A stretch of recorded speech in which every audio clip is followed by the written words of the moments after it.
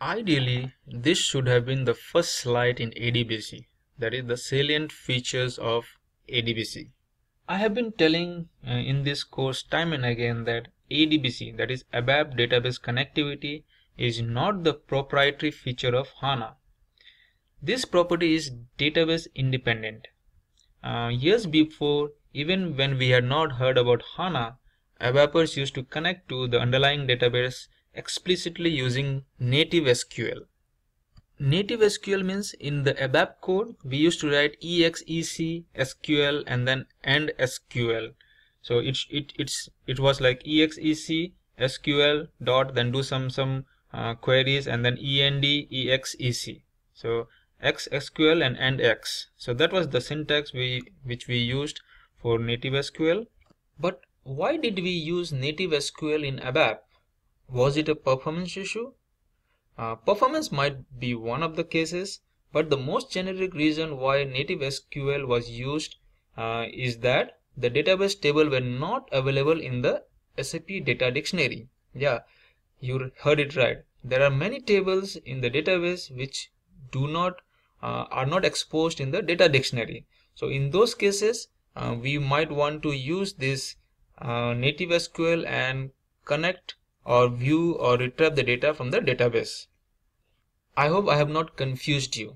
Say for example, the material master table MARA, it is in the database and it is also available in the data dictionary.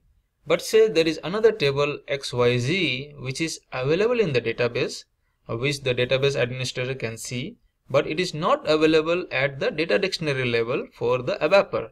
In those case we need to explicitly uh, connect to the database and then write the exec SQL and end exec and then retrieve or connect to that database and retrieve the data from that table which is there in the database but not available at the data dictionary. So before we uh, talk about the salient features of ADBC, let me quickly highlight the salient features of native SQL. Native SQL allows us to use database specific SQL statements in an ABAP program. We cannot do the syntax check of the native SQL statement in the ABAP program.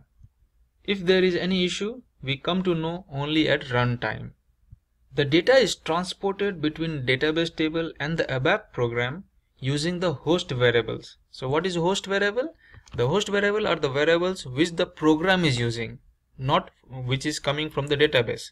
So you select XYZ from table AB, ABC into the host variable means the variable which you will be using in the program and where the where MATNR equal to host variable. So the code might look like this so in this case, uh, WA MATNR in front of which there is a colon. So this is a host variable and colon P underscore MATNR. This is a host variable. When we write HANA program, we also use at the rate sign, right? Many times you use at the rate sign to identify or to tell the program explicitly that at the rate is the host variable whether whereas others one are from the database. So similarly in native uh, SQL we had colon for the host variables.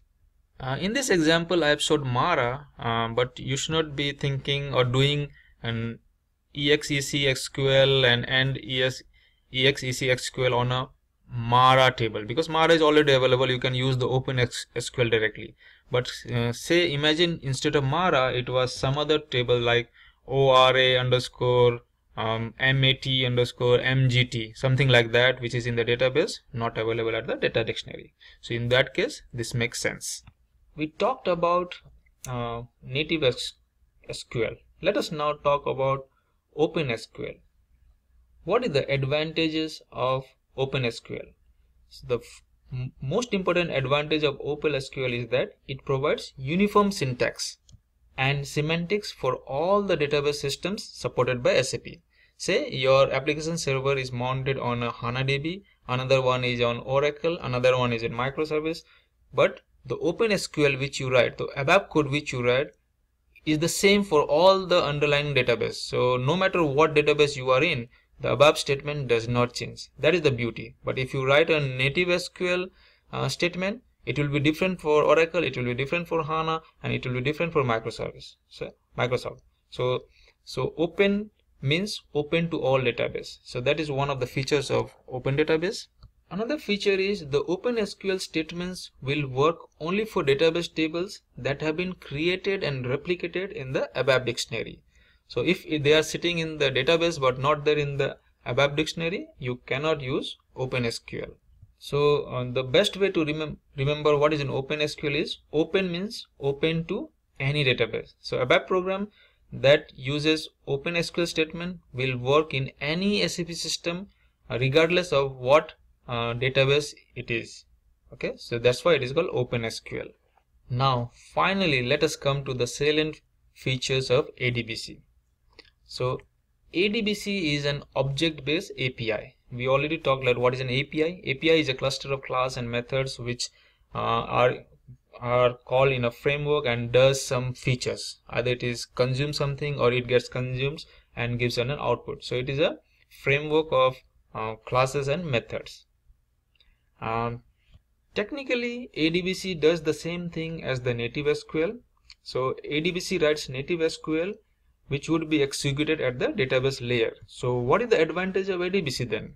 So ADBC makes the process of connecting to the database and transferring the native SQL code to be executed at the database layer smoother and organized. So this is a an object-oriented approach uh, of using the native SQL using ADBC. The object-oriented approach brings with it flexibility and ADBC is found in where used list. So that is one of the important feature.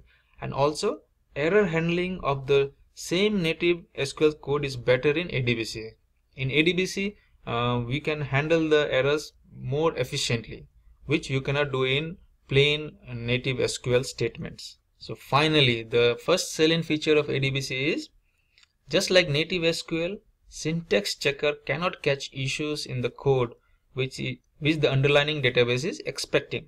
So we can handle the exceptions properly. So we should always handle uh, the exception just like cx underscore sql underscore exception, right?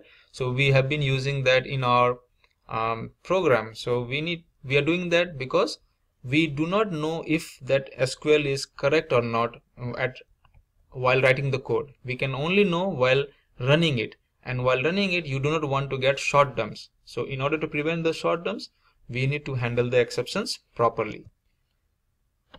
Another important feature uh, which ADBC has is that we can only use standard internal tables.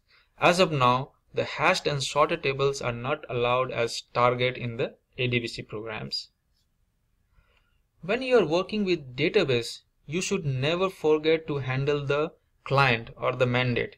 Remember in one of the videos, earlier videos, where we did not uh, uh, select the client or mandate as one of the outputs in the attribute views or analytical views or calculation view, what happened? You were not able to display it um, in the preview. You cannot do the database preview because you had not mentioned explicitly which uh, client you want to show. So similarly while working with ADBC you should always handle the client explicitly. Otherwise you might get data because one data can database can be connected to multiple clients. And then if you are running it in say client 130 you might get data from 130 you can get data from 110 and also you can get data from 006 so whichever client is connected to the database you might get all the data. So while writing a select query you should explicitly mention the uh, client or the mandate. And another important feature which we have learned uh, a hard way is that ADBC does not necessarily release the allocated memory or resources on the database. Therefore it is always always recommended. It is a very good practice uh, to close the query and close the connection so that you release all the memory and the resources uh, which the ADBC is consuming. Uh, we know that uh, we can write the native SQL in the SQL console of the HANA Studio or the Eclipse or the ADT which you are using. But don't be surprised if I say that you can write the native SQL in GUI as well. So if you have GUI if you are in ECC 6 or ECC 7.4 or HANA S4 HANA you can still write your SQL uh, native SQL and check in this transaction. The transaction is DBA cockpit. You might not have access to this T code but if you have access in your development box just go to this DBA cockpit go to performance go to the additional functions and then SQL co command editor and just write the code. So if you are in the same uh, editor or in the same database like I am then you can write this particular code and then hit execute. You will get an output. Okay? You can try this. So this can be another exercise for you to uh, learn some of the native SQL statements